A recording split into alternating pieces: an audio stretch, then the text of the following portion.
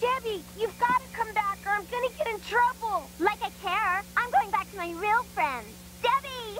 Debbie! It's me, Debbie! Ah! Don't be scared. I'm alive. But have you seen yourself? No, why? Ah!